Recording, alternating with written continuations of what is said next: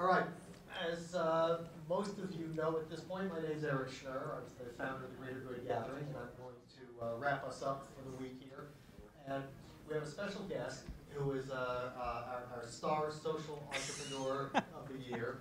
Uh, we have one of these every year. It's not that special. And, I'm uh, touched, I'm touched.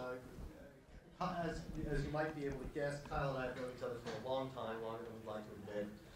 We first met working together of the national headquarters in 1984 Walter Mondale presidential campaign.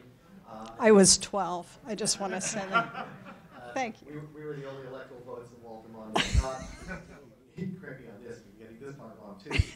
This is, this is a nonprofit, but it, it, I wouldn't say it makes a profit, but it's a self-sustaining economic model. And this is real important to, you know, basically the, the origins of this whole Greater Good Conference, which came out of a discussion that several of us had had about what's the future of making a difference. And then a big part of that is the, the blurring of lines between different categories of organizations we think of as separate today. That in the future, uh, governments are gonna have to figure out how their activities can be economically self-sustaining, and that, uh, uh, businesses and social ventures aren't gonna totally blend into one, but there, there's increasingly a need for businesses to have a, a different bottom line where they're looking at, um, uh, making a, s- uh, a difference in the ways in which their activities, uh, interact with the world, and that a lot of, of, uh, doing good, and, you know, ultimately, uh, charities have to make money in one or or they cease to exist. It's a matter of how you bring in your money. But figuring out how you can do good while having an economically self-sustaining model, uh, and/or an economically self-sustaining model, a business that is actually doing good for the world instead of wreaking havoc, uh, is really the, key issue in what's happening in public sector, private sector, and the things between them in the, the next generation or so.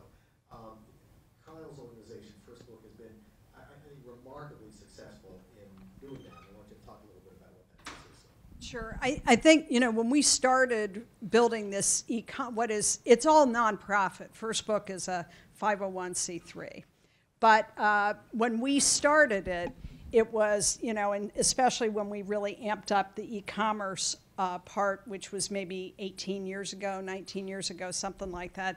Um, it was not yet fashionable to have a social enterprise, especially one that, uh, you know, that that the base of the pyramid, the people we were serving, were in in fact paying for the resources they were receiving from us, albeit at a much lower level than they could have ever gotten them at retail. But it's important for a lot of reasons. One is we have tried as a society to provide everything for free and do it, uh, make social, ma- massive social changes based on the kindness of strangers, and it doesn't work. It doesn't work long term, you know. And secondly, when you've got, when what you're doing is uncovering a brand new market, the publishing industry, you know, they are victims of their own industry design because when you're selling $19 picture books, by definition, you're really only selling to the top 5% on a consistent basis uh, of the economic ladder, right? And so what that means is uh, the people at the bottom, in the bottom third, they are not represented as authors. They're not represented in the content. They're not their voice is not heard. They are not a market that the publishing industry addresses their product to, right? And so not only is it too high priced, it's also irrelevant in large part to the kids we're trying to serve.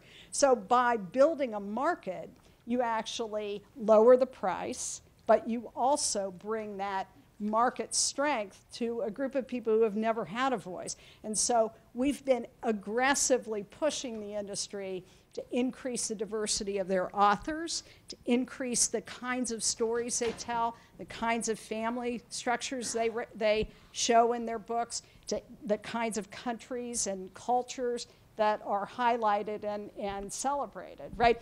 And you can't do that if what you're doing is trying to do it all based on contributed books. You've got to bring market strength into the conversation. So, for lots of reasons, it's really important that it's designed that way. In addition, yeah, I can keep my lights on, right? Which really helpful, I'm just saying. Um, And that's a good, other than the point point about the lights, it's a good- good segue to the third point that I want to make, which, um, fir- which I'm going to bring down uh, the first of our students, Mrs. Allison. who will Join us.